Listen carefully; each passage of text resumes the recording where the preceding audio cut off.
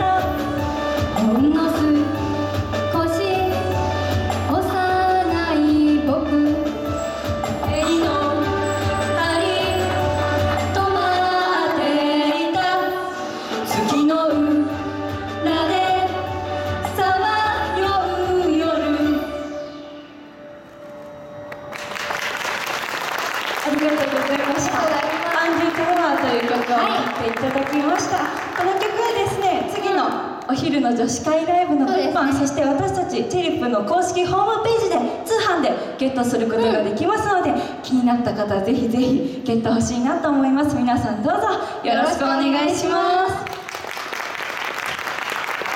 そしてそのお昼の女子会ライブなんですけど、18歳以下の女性の方。はなんなんと？と入場が無料ということはい。らしくてででもちょっとお席があの、うんその入場料を払った方が優先ってことなんですけど、まあ、はい。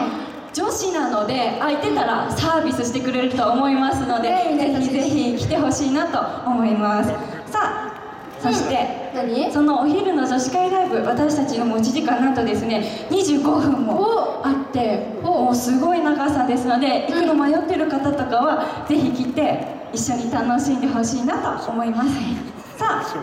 次の曲が最後の曲なんですけど私たちのファーストシングルちらもカップリング曲になります、みんなで一緒にこうやって手を振るところがあります。